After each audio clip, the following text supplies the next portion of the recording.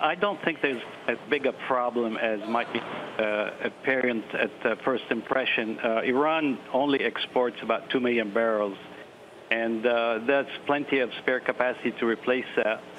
Uh, their, their sales are uh, largely to Europe. Europe will not buy anymore. the same thing with most of the Asian countries. The only issue probably is China. How much will China buy? their purchases in the past have ranged 300 to 700,000 barrels. But I think the more important point is uh, Iran has the option to go back and look at its uh, um, local or geopolitical uh, strategies, and if it was to back down from its uh, uh, missile programs and nuclear programs and interference in uh, adjacent countries' politics, it could this whole problem could go away. So really, the the ball is in Iran's court. It's not about yeah. the oil, it's about Iran's politics.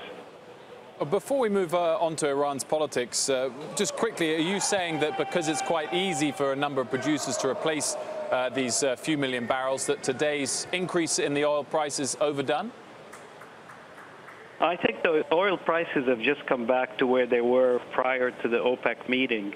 Um, Saudi Arabia alone uh, could definitely cover a million barrels. it's done more than that in the past and there's enough other supply to, to replace all of Iran's uh, uh, oil that would come off due to the sanctions. So yeah, it is over an overreaction. I think people are forgetting that most of the consumers have had since May to find alternative supplies, and they have until November, another 90 days.